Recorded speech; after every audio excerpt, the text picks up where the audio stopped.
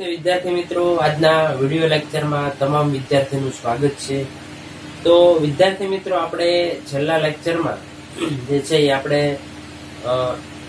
જે સમીકરણ તમને આપ્યું હોય, એના આધારે વિકલ સમીકરણ મેળવવાના દાખલાઓ ગણ્યા હતા. કે જેમાં આપણે એ રીતની ચર્ચા થઈ હતી કે જેટલા સમીકરણમાં જેટલા સ્વેર અચળ હોય, એટલી વાર વિકલન કરવું. બરાબર? એટલા હું વિકલન મેળવું ધારો કે બે સ્વેર અચળ હોય, તો દ્વિતીય વિકલિત તમારે મેળવવું પડે. એક સ્વેર અચળ તો એક પ્રથમ વિકલિત મેળવવું પડે. તો એ રીતના દાખલાઓ જે છે એ આપણે ગણ્યા હતા, બરાબર? સ્વાધ્યાય નવ પોઈન્ટ ત્રણમાં બરાબર કે જેમાં સીધું સમીકરણ આપ્યું હોય અને એનું વિકલ સમીકરણ મેળવવાનું હોય, આપેલું ન હોય. બરાબર? અગાઉ જે દાખલા ગણ્યા એમાં શું હતું? સમીકરણ પણ હતું અને વિકલ સમીકરણ પણ હતું.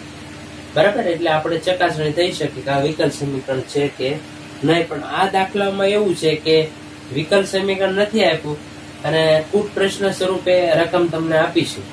બરાબર? અને એનું સમીકરણ પણ તમને આપેલું નથી. એટલે આના માટે તમારે સમીકરણ મેળવવું પડે. એટલે આપણે વર્તુળ પરવલય ઉપવલય અતિવલય જે છે, એના સમીકરણનો ખાસ ખ્યાલ હોવો જોઈએ.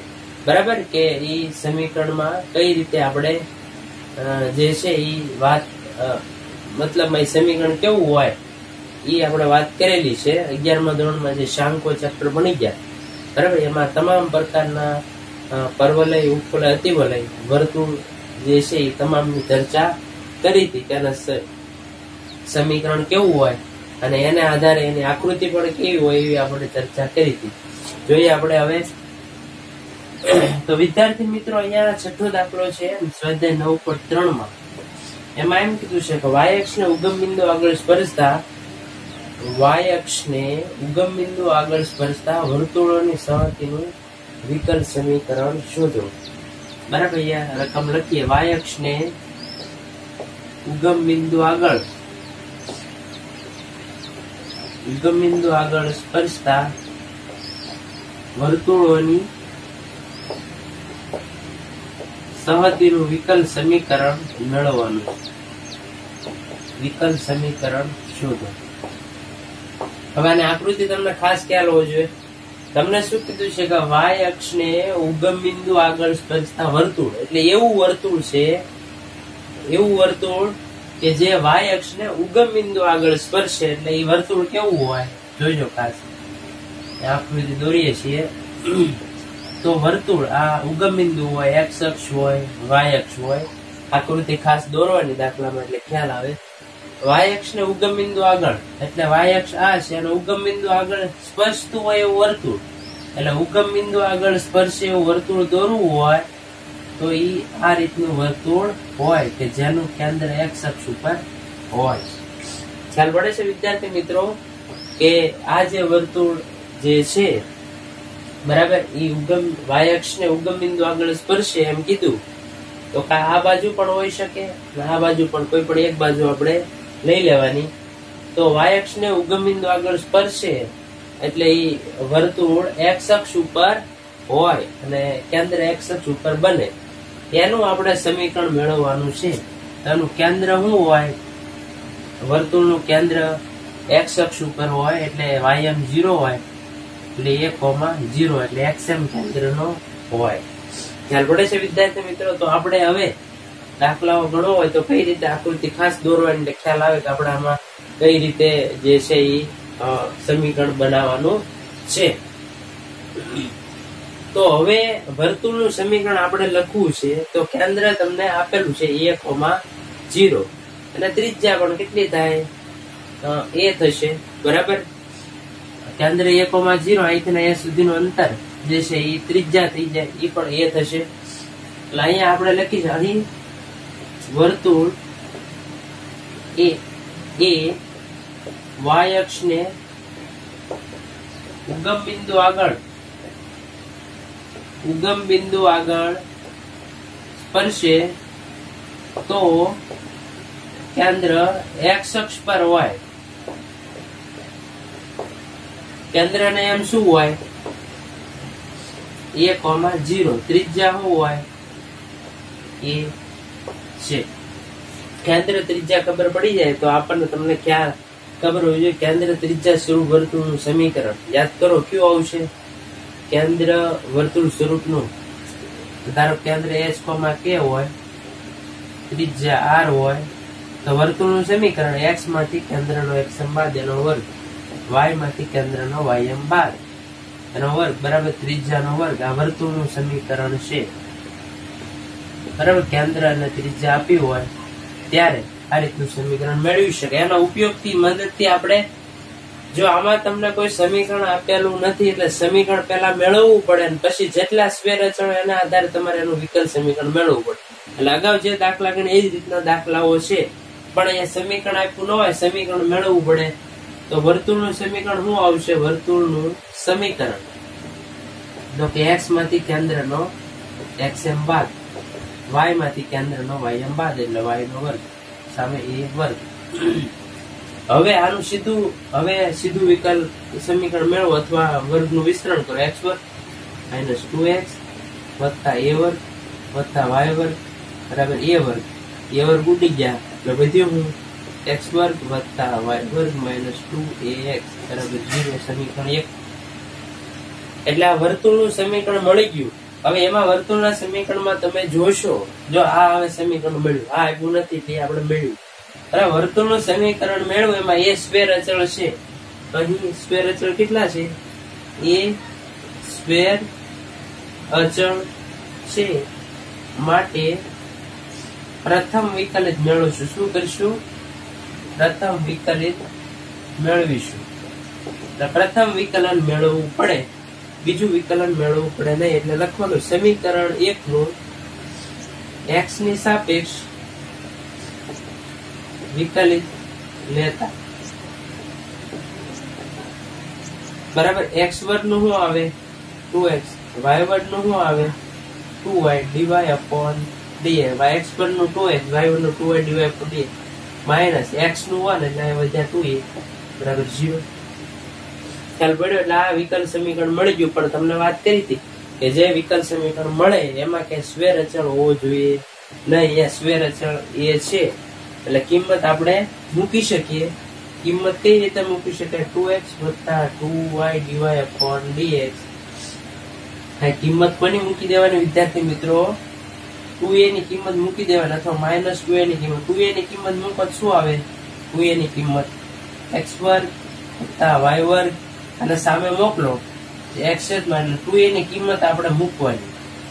છેલ્લે સ્વેર અચળની કિંમત મૂકવાની ખાસ ધ્યાન રાખવાનું. એની મૂકો અથવા ટુ એ ની કિંમત મૂકો, કોઈ ફેર પડે નહીં.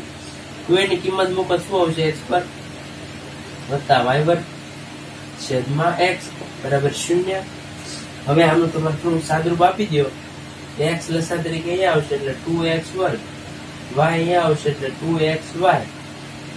D Y upon T X અહીંયા માઇનસ એક્સ વર્ગ, માઇનસ વાય વર્ગ, બરાબર શૂન્ય છેદના એક્સ શૂન્ય સાથે મોકલી શકાય. તો હવે આમાં શું થાય જુઓ તો, ટુ એક્સ વર્ગ એટલે એક્સ વર્ગ આવશે.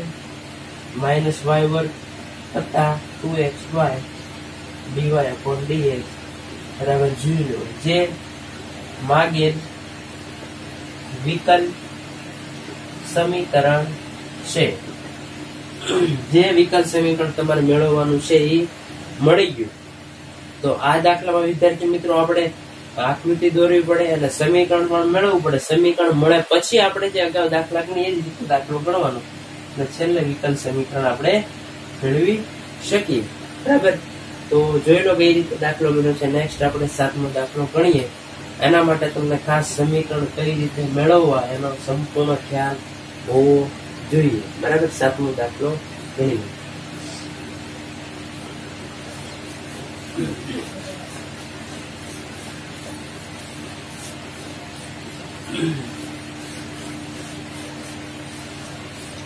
તો સાતમા દાખલામાં વિદ્યાર્થી મિત્રો શું કીધું છે? જેનું શીર્ષ સુગમ બિંદુ હોય જેનું શીર્ષ ઉગમ બિંદુ હોય અને અક્ષ એ વાયની ધન દિશા હોય તેવા પરવલય સહતિનું વિકલ સમીકરણ શોધો. તમને શું કીધું છે? જેનું શીર્ષ ઉગમ બિંદુ હોય એવું આપણે આકૃતિ દોરીએ. પરવલય જો અહીંયા જેનું શીર્ષ ઉગમ બિંદુ હોય અને અક્ષ એ વાય અક્ષની ધન દિશા હોય તેવા પરવલયની સમીકરણ પરવલયની સહતિનું વિકલ સમીકરણ શોધો. એટલે પરવલયનું સમીકરણ મેળવીને તમારે વિકલ સમીકરણ મેળવવાનું છે. બરાબર પરવલય ચાર પ્રકારના આપણે જોયા હતા. કે અક્ષ એક્સ અક્ષ હોય અક્ષ વાય અક્ષ હોય એવા જોયા હતા. અહીંયા તમને અક્ષ વાય અક્ષની ધન દિશા કીધી છે. તો આ ઉપરની તરફ પરવલય ખુલે, એક જમણી બાજુ ખુલે, ડાબી બાજુ ઉપરની તરફ, નીચેની તરફ. બરાબર? એવી આપણે વાત કરેલી. ચાર પ્રકારના પરવલય જોયા હતા. અહીંયા કીધું છે કે વાય અક્ષની ધન દિશા હોય એટલે વાય અક્ષ મુખ્ય અક્ષ હોય, ધન દિશા હોય એટલે ઉપરની તરફ. એ પરવલય જે બને એ આ પ્રકારનો પરવલય હોય. બરાબર? શિષ ઉગમ બિંદુ હોય એક્સ અક્ષ હોય વાય અક્ષ હોય, અહીંયા નાભી હોય. બરાબર? એની કઈ જરૂર નથી. જો ફરીથી, જેનું શિષ ઉગમ બિંદુ હોય શિષ ઉગમ બિંદુ છે અને અક્ષ વાય અક્ષની ધન દિશા હોય, તેવા પરવલોની સહજ પેલું વિકલ સમીકરણ મેળવો. એટલે આ આકૃતિ ખાસ મહત્વની છે. હવે આપણે જોઈએ કે શીર્ષ ઉગમ બિંદુ હોય. આપણે પર્વતનું સમીકરણ કેવું આવશે મેળવ હોય અને અક્ષ. વાય અક્ષની ધન દિશા હોય, વાય અક્ષની ધન દિશા હોય તેવા પરવલયનું સમીકરણ. કેવું આવશે? તમને ખ્યાલ હોવો જોઈએ કે એક્સ અક્ષ હોય, ત્યારે શું આવે? મુખ્ય અક્ષ એક્સ અક્ષ હોય. એક્સ અક્ષ હોય ત્યારે વાય વર્ગ હોય, સામે એક્સ હોય એટલે ચાર એક્સ વાય અક્ષ મુખ્ય અક્ષ હોય ત્યારે સમીકરણ એક્સ વર્ગ હોય, ચાર એ વાય હોય. આ બાજુ એક્સ વર્ગ હોય, સામે વાય હોય. એટલે આ સમીકરણ જે છે આપણે લખવાનું થશે. આ ખાસ ખ્યાલ હોવો જોઈએ, ખબર ન હોય તો ભૂલ પડે. તો ભરેલું સમીકરણ શું આવશે એક્સ વર્ગ બરાબર ચાર એ વાય છે. જ્યાં એ સ્વેર અચળ છે, એ સ્વેર અચળ છે. એટલે આપણે એકવાર વિકલન મેળવવું પડશે માટે પ્રથમ વિકલિત મેળવશું. બરાબર? ખ્યાલ પડે છે વિદ્યાર્થી મિત્રો? અહીંયા જે છે એનું વિકલન કરવું પડે. એક્સ વર્ગ માઇનસ ચાર એ વાયનું એક્સની સાપેક્ષ વિકલન લેતા બરાબર? એક્સની સાપેક્ષ વિકલન લેવામાં આવે તો એક્સનું શું થાય? જો આ સમીકરણ મળી ગયું, પણ આમાં એક જ સ્ક્વેર અચળ છે, એટલે એકવાર વિકલન કરવું પડશે. એક્સ વર્ગ એટલે ટુ એક્સ. ચાર એમ નામ. એ એમ નામ રહે. વાય છે ત્યાં ડીવાય અપોન ડીએક્સ બરાબર? આ જે છે એ આપણે ટુ એક્સ રાખીએ. અથવા બે ઉડાડો તો ઉડાડજે. ઉડાડવા જો આ વિકલ સમીકરણ તમને મળી ગયું, પણ એક વસ્તુ ધ્યાન રાખવી પડે, વિકલ સમીકરણ મળે ત્યારે કોઈ સ્વેર અચળ હોવો જોઈએ નહીં. છે અહીંયા સ્વેર અચળ, એ છે. એટલે આપણે ચારેયની કિંમત મૂકી દેવાય ત્યાં. કોની કિંમત? ચારેયની કિંમત આના આધારે કેટલી એક્સ ના છેદમાં વાય ચારેયનું સૂત્ર કરતા બનાવો. તો વાય છેદમાં X Y D Y upon D X કારણ ખાસ લખી શકાય. કે ચાર એ બરાબર એક્સ વર્ગના છેદમાં વાય. બરાબર? એ રીતે આપણને વિકલ્પ સમીકરણ મળે. એટલે વાય ને સામે મોકલી દો એક એક્સ ઉડી જાય. બરાબર? એટલે ટુ વાય બરાબર X D Y upon D X માટે ટુ વાય સામે મોકલો, તો X D Y upon D X minus two Y બરાબર શૂન્ય. જે માગેલ વિકલ સમીકરણ છે. બરાબર? આને ટુ વાય સામે મોકલી દો અને એક્સ છેદમાં મોકલી દો એ રીતે જો લખવું હોય તો એ રીતે પણ આપણે લખી શકીએ. એટલે દાખલામાં ખાસ તમે જોઈશો તો દાખલો કઈ અઘરો ન હોય, પણ ખાસ એનું સમીકરણ મેળવવું એ મહત્વનું છે. એ સમીકરણ તમને આવડે તો જ તમે વિકલ્પ સમીકરણ મેળવી શકો. નેક્સ્ટ આપણે આઠમો દાખલો ગણીએ.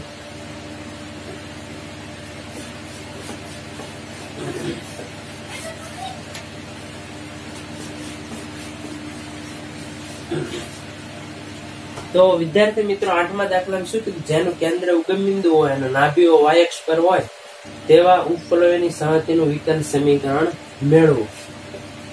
હવે ખાસ, જેનું કેન્દ્ર ઉગમ બિંદુ હોય, કેન્દ્ર ઉગમ બિંદુ હોય અને નાભીઓ વાયક્ષ ઉપર હોય, તેવા ઉપલયનું ઉપલયનું સમીકરણ ખાસ લખવાનું છે. એટલે એ લખીએ આપણે, કેન્દ્ર ઉગમ બિંદુ હોય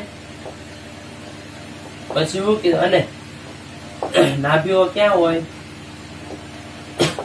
નાભીઓ વાયક્ષ પર હોય તેવા ઉપલયનું સમીકરણ કેવું આવશે? જોઈએ આપણે ઉપલયનું સમીકરણ. હવે આપણે આકૃતિ દોરી નાખીએ કે ઉપવલયની વાત કરી છે એટલે કઈ રીતનું સમીકરણ આવશે આપણે જોઈએ. બરાબર આ ઉગમ બિંદુ હોય એક્સ અક્ષ હોય વાય અક્ષ હોય. કેન્દ્ર ઉગમ બિંદુ હોય નાભીઓ વાય અક્ષ ઉપર હોય, તેવા ઉપલય એટલે ઊભો ઉપલય થાય નાભીઓ વાય અક્ષ ઉપર હોય, એટલે ઊભો ઉપલય નાભીઓ એક્સ અક્ષ ઉપર હોય, તો આડો ઉપલય આ રીતના ઉપલય જે છે, એ તમને મળશે, વિદ્યાર્થી મિત્રો. બરાબર? જોજો ખાસ. જોયું? બરાબર? આ રીતના ઉપલય જે છે, એ બને. ઊભો ઉપલય કહેવામાં આવે. બરાબર? તો આ પ્રકારનો જે ઉપલય હોય, એમાં નાભીઓ અહીંયા હોય, એક નાભી અહીંયા હોય, બીજી નાભી અહીંયા હોય. બરાબર? ખ્યાલ પડે છે? આ એક નાભી, આ બીજી નાભી, આ. આ એક્સ અક્ષ, વાય અક્ષ ઉગમ બિંદુ, નાભીઓ એક્સ અક્ષ, વાય અક્ષ ઉપર. બરાબર? તો એનું સમીકરણ તમારે મેળવવું હોય. તો એ કઈ રીતનું આવશે? તમને ખાસ ખ્યાલ હોવો જોઈએ. અહીંયા આમ તમે જોશો તો ક્યાં આવશે? એ કોમા ઝીરો હોય, અહીંયા માઇનસ એ કોમા ઝીરો હોય, બરાબર? એ પ્રમાણે અહીંયા એ કોમા ઝીરો અહીંયા ઝીરો કોમા બી, બરાબર? તો આ રીતે ઉપકલનનું સમી ઉપકલન આકૃતિ હોય એ સમીકરણ કેવું છે ઉપકલનનું સમીકરણ? તો કે મુખ્ય અક્ષ એક્સ અક્ષ હોય. મુખ્ય અક્ષ એક્સ અક્ષ હોય, ત્યારે સમીકરણ આવું હોય એક્સ વન ના છેદમાં એ વર્ગ. વત્તા વાય વર્ગના છેદમાં બી વર્ગ બરાબર વન હોય. જેમાં એ બી કરતા વધુ હોય. વાય એક્સ હોય ત્યારે શું હોય? એનાથી થોડુંક ઊંધું હોય. એક્સ વર્ગના છેદમાં બી વર્ગ આવશે અને વાય વર્ગ ના છેદમાં શું આવશે. એ વર્ગ આવશે. બરાબર વર્ગ ખ્યાલ પડ્યો વિદ્યાર્થી મિત્રો? ત્યારે આ રીતનું સમીકરણ બને. ત્યારે નાભીઓ વાય એક્સ ઉપર છે એટલે ઉપરનું સમીકરણ આવશે એક્સ વર્ગના છેદમાં બી વર્ગ વત્તા વાય વર્ગના છેદમાં એ વર્ગ બરાબર વન છે. જ્યાં અને બી સ્વેર અચળ છે. બરાબર? બે સ્વેર અચળ છે. એટલે આપણે શું કરશું? દ્વિતિ વિકલિત મેળવશું. દ્વિતિ વિકલિત મેળવશું. બરાબર? એટલે આ જે છે એનું એક્સની સાપેક્ષમાં વિકલન કરી નાખવું પડે. એક્સ વર્ગ ના છેદમાં બી વર્ગ વત્તા વાય વર્ગ ના છેદમાં એ વર્ગ. બરાબર? વનનું. એક્સની સાપેક્ષ વિકલિત લેતા. અહીંયા તમે જોશો, વિદ્યાર્થી મિત્રો, તો બે સ્વેર અચળ છે એટલે બે વાર વિકલન કરવું પડશે, નક્કી થઈ ગયું છે. બરાબર? તો આપણે, વિદ્યાર્થી મિત્રો, અહીંયા એક્સ વર્ગનું ટુ એક્સ છેદમાં બી વર્ગ એમ નામ રહે છેદમાં એ વર્ગ એમ ના વાય વર્ગનું છે એટલે ટુ વાય પાય છે એટલે D Y upon D X સામે વન છે એટલે શૂન્ય. તો હવે આપણે બીજું વિકલન પણ મેળવવું પડશે. તો એના માટેનું થોડુંક સાદરૂપ આપી દઈએ. તો કઈ રીતે આવશે? અહીંયા ટુ વાય છેદમાં A square D Y upon D X આ સામે મોકલો તો માઇનસ ટુ એક્સ છેદમાં બી વર્ગ, કે જેમાં બે બે ઉડી જાય, એટલે ડીવાય અપોન ડીએક્સ શું આવશે? સૂતન કરતા બનાવો તો બે બે ઉડી જાય, એટલે એક્સ ના છેદમાં અથવા આપણે શું કરીએ વિદ્યાર્થી મિત્રો? ડીવાય પણ ડીએક્સ છે. એમાં વાય અહીંયા રાખીએ. બે બે, જો વાય અહીંયા ડીવાય પણ ડીએક્સ છે, બે ઉડી ગયા. એ વર્ડને સામે મોકલો, તો શું આવશે? એ વર્ડને સામે મોકલો તો માઇનસ એક્સ એ વર્ડના છેદમાં બી વર્ગ. આ રીતનું સમીકરણ મળે. સમીકરણ એક થઈ ગયું. ખ્યાલ પડે વિદ્યાર્થી મિત્રો? આપણે આવું સાદુરૂપ શા માટે આપ્યું? જો આ ડાયરેક્ટ વિકલન કર્યું, પણ આના પછી સીધું ધીરથી વિકલન મેળવવું હોય તો મેળવી શકે. પણ આપણે પછી એનું થોડુંક સાદરૂપ આપીએ કે ડીવાય પણ ડીએસ ને એક બાજુ લઈને વાય સાથે રાખો તો બીજું વિકલન મેળવવામાં સરળતા રહે. એટલે આપણે જોઈએ, સમીકરણ એકનું ફરીથી પાછું વિકલન કરીએ. સમીકરણ એકનું વિકલન લેતા. તો શું આવશે? તો અહીંયા ગુણાકારનો નિયમ લાગુ પડે એટલે Y DY upon ડીએક્સનું D square Y upon D X વર્ગ વત્તા ડીવાય અપોન ડીએક્સ પ્રથમ પદ એમના બીજા પદનું વિકલન વત્તા બીજું પદ એમના પ્રથમ પદ વાય છે એનું વિકલન ડીવાય અપોન ડીએક્સ એટલે સામે આનું એક્સનું વન એટલે સામે વધે માઇનસ એ સ્ક્વેર ના છેદમાં બી સ્ક્વેર તો હવે તમે આ વિકલ્પ સમીકરણ મળી ગયું. પણ અહીંયા આપણે એ સ્ક્વેર ના છેદમાં બી વર્ગ એ સ્વેર અચળ છે, એની કિંમત મૂકવી જરૂર જરૂરી છે. અને કિંમત તમારે મૂક દેવી પડે, એ કિંમત સમીકરણ એક ના આધારે મળી જાય, સમીકરણ એક પરથી. કિંમત શું આવે?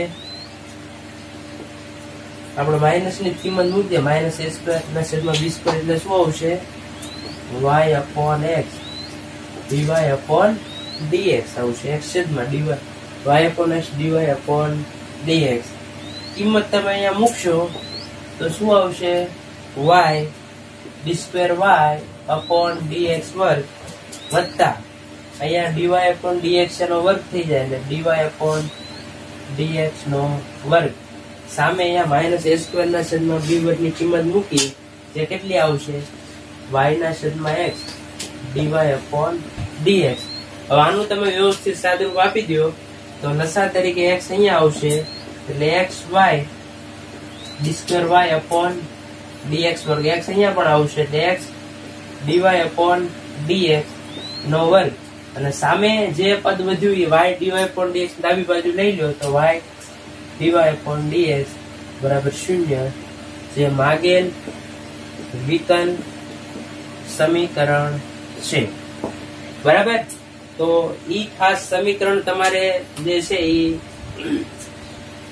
આપણે સૌથી પહેલા સમીકરણ ઉપકલયનું મેળવવું પડે. જેમાં એન બી બે સ્વેર અચળ હોય એટલે બે વાર વિકલન કરવું પડે એટલે પ્રથમ વિકલન મેળવ્યું.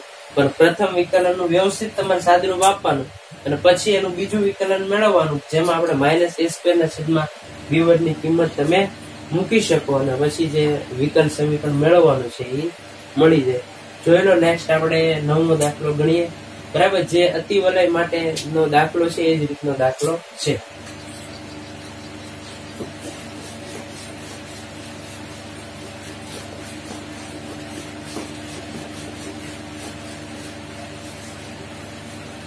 તો વિદ્યાર્થી મિત્રો, નવમા દાખલામાં જે છે, શું કીધું છે? જેનું કેન્દ્ર ઉગમ બિંદુ હોય અને નાભીઓ એક્સ અક્ષ પર હોય, તેવા અતિવલયની સહંતિનું વિકલ સમીકરણ મેળવું. એટલે ઉપર ઉપલય માટેનું જે સમીકરણ હતું, એની જેમ અહીંયા અતિવલયનું સમીકરણ તમારે લખવાનું છે, એની આકૃતિ દોરવાની, પછી એનું વિકલ સમીકરણ મેળવવાનું. તો જોઈએ આપણે કે જેનું કેન્દ્ર ઉગમ બિંદુ હોય, એટલે કેન્દ્ર ઉગમ બિંદુ હોય. બીજું શું કીધું છે? નાભીઓ એક્સ અક્ષ ઉપર હોય અને નાભીઓ એક્સ અક્ષ પર હોય, તેવા અતિવલયનું સમીકરણ, તેવા અતિવલયનું સમીકરણ લખીએ. પણ એ પેલા આકૃતિ દોરીએ. કઈ રીતે આવશે આકૃતિ? તમે એમાં જોશો તો કેન્દ્ર ઓ એક્સ અક્ષ વાય અક્ષ, જો હવે શું કીધું? જેનું કેન્દ્ર ઉગમ બિંદુ હોય, એટલે કેન્દ્ર ઉગમ બિંદુ. નાભીઓ એક્સ અક્ષ ઉપર હોય તેવા અતિવલયનું સમીકરણ. એટલે નાભીઓ એક્સ અક્ષ ઉપર હોય એટલે મુખ્ય અક્ષ એક્સ અક્ષ હોય. એટલે ઈ અતિવલય આ જે અતિવલય બને, એ કઈ રીતનો અતિવલય આવશે? કે જેમાં આ પ્રકારે અતિવલય બનશે. બરાબર?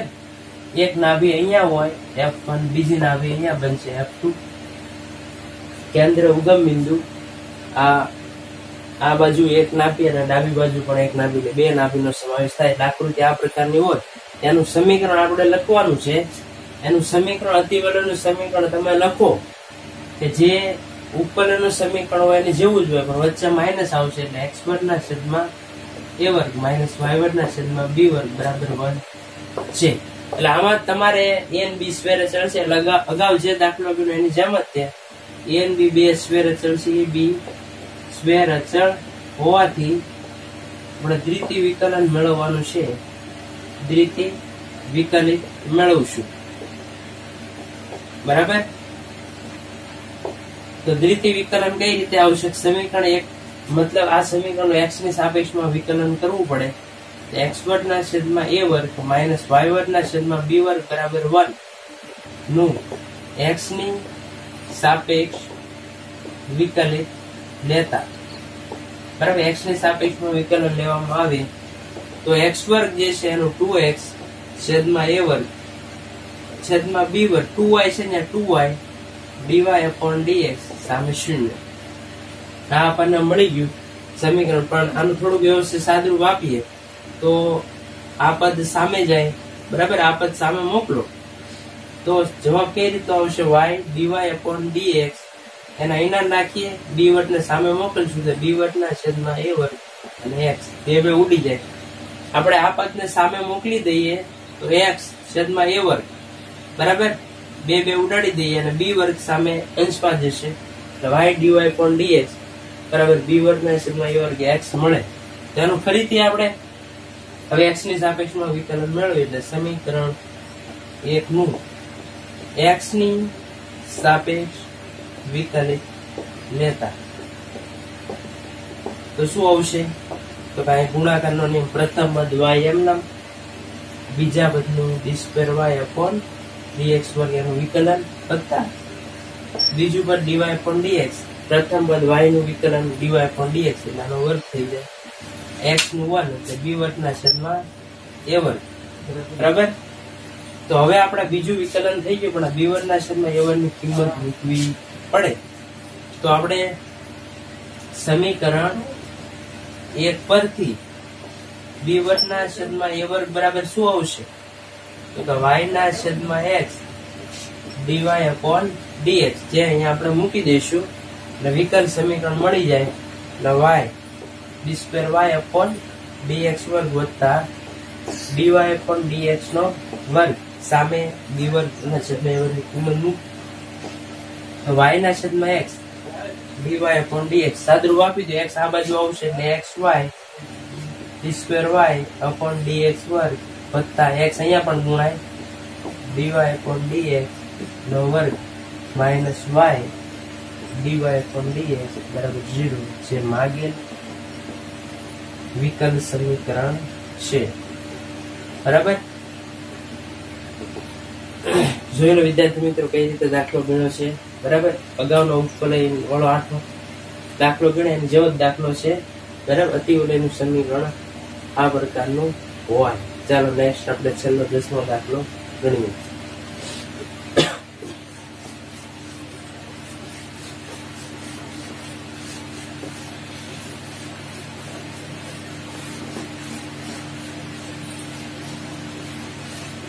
તો વિદ્યાર્થી મિત્રો, દસમો દાખલો છે. એમાં શું કીધું? જેનું કેન્દ્ર વાયક્ષ પર હોય અને ત્રીજા ત્રણ એકમ હોય, એટલે આ રીતે. કેન્દ્ર વાયક્ષ પર હોય અને ત્રીજા ત્રણ એકમ હોય. આ રીતે વર્તુળ. ઉગમ બિંદુ એક્સ અક્ષ હોય વાયક્ષ હોય. બરાબર? તમને શું જેનું કેન્દ્ર વાયક્ષ ઉપર હોય, એટલે વાયક્ષ ઉપર હોય, એટલે એક્સ એક્સ એમ ઝીરો હોય, એટલે ઝીરો કોમા એ કેન્દ્ર હોય. બરાબર? વાયક્ષ પર હોય. અને ત્રીજા ત્રણ એકમ, અને ત્રીજા ત્રણ એકમ છે એ પણ ખ્યાલ પડી ગયો છે. તેવા વર્તુળોની સહગતિનું વિકલ સમીકરણ મેળવો. એટલે આપણે જોઈએ કે કેન્દ્ર કેટલું હોય વર્તુળનું? ઝીરો કોમા એ ત્રિજ્યા કેટલી? ત્રણ એકમ. તો વર્તુળનું સમીકરણ શું આવશે? વર્તુળનું સમીકરણ જે શરૂઆતમાં આપણે જોયું હતું કે એક્સમાંથી કેન્દ્રનો એક્સ એમ બાદ વાયમાંથી કેન્દ્રનો વાય એમ બાદ, બરાબર ત્રિજ્યાનો વર્ગ એટલે કેટલા આવશે? નવ. બરાબર? તો આ રીતે આપણે સાદુરૂપ આપશું તો એક્સ વર્ગ.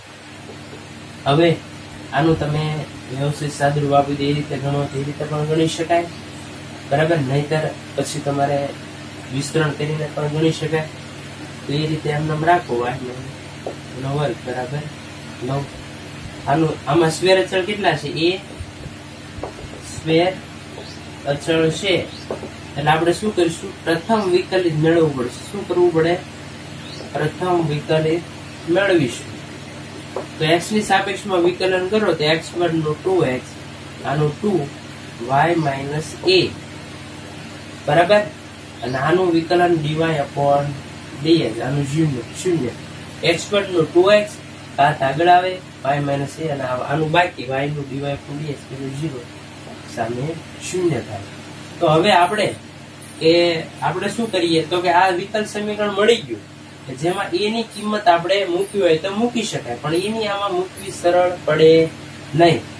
એટલે ખ્યાલ પડે છે? આને આધારે કિંમત મૂકવી હોય તો વાય માઇનસ એની કિંમત વધુ સરળતાથી તમે મૂકી શકો. ખ્યાલ પડે છે? અથવા વાય માઇનસ એને સૂત્ર કરતા બનાવી દો તો શું આવશે? ટુ બરાબર?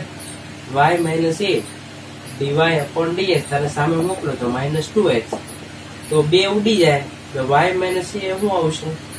વાય માઇનસ એ નું મૂલ્ય મૂકવું હોય તો માઇનસ એક્સ છેદમાં D Y upon D X ત્યારે પડે છે? વાય માઇનસની સીધી કિંમત અહીંયા મૂકી દો. એટલે કોઈ પ્રશ્ન રહે નહીં. એટલે આને સમીકરણ એક. લખી શકાય. સમીકરણ એકમાં વાય માઇનસ તમે અલગ રીતે પણ ગણી શકો, પણ કે છેલ્લે કોઈ સ્વેર અચળ રહેવો જોઈએ નહીં. સમીકરણમાં વાય માઇનસ એની કિંમત મૂકતા. બરાબર? તો એ મૂકશો તો હું આવે? એક્સ વર્ગ. વાય માઇનસ એટલે આ. માઇનસ એ વર્ગ છે એટલે ધન થઈ જાય એક્સ વર્ગ. ડીવાય પણ ડીએક્સ નો વર્ગ. અને સામે છે નવ. લસા લઈ લો એટલે જવાબ તૈયાર થઈ જાય તો ડીવાય પણ ડીએક્સ અહીંયા આવશે એટલે એક્સ વર્ગ. ડીવાય પણ ડીએક્સ નો વર્ગ વત્તા એક્સ વર્ગ સામે નવ. ડીવાય પણ ડીએક્સ નો વર્ગ. ખ્યાલ પડી ગયો વિદ્યાર્થી મિત્રો અહીંયા? જે છે આપણે લસા લીધો છે, જેમાં કઈ કિંમત મૂકી છે? વાય માઇનસ એ ની કિંમત આપણે મૂકી દીધી.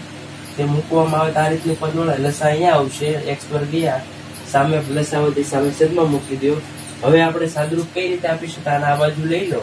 બરાબર? તો આવશે એક્સ વર્ગ ડીવાય અપોન ડીએક્સ નો વર્ગ માઇનસ નવ ડીવાય અપોન ડીએક્સ નો વર્ગ વત્તા એક્સ વર્ગ બરાબર ઝીરો. એટલે જે રીતે સાદરૂપ આપવું હોય તો સામાન્ય લેવલ તો લઈ શકાય. અથવા આમાંથી તમે એક્સ વર્ગ સામાન્ય લ્યો, તો એ રીતે પણ સાદરૂપ આપવું હોય તો આપી શકાય.